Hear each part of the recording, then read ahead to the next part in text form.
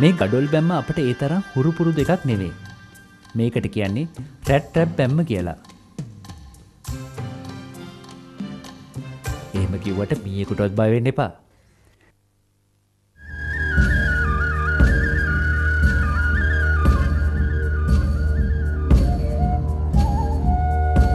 මේක බොහෝම ශක්ති සම්පන්නයි. ඒ විතරක් ය එතපත් බොහොම අඩුයි. මෙවැනි ගෙවල් ඇතුළේ ස්වාභාවිකව සිසිල් බව රැකෙනවා. ඒ හින්ද ඒසි කරන්න. එහෙම නැත්තම් ෆෑන් දාන්න ඕනෙත් නෑ. බලන්නකො ලස්සන. හැබැයි කපරාරු කරලා පාට උලලා මේ ලස්සන වහලා දාන්න එහෙම එපා.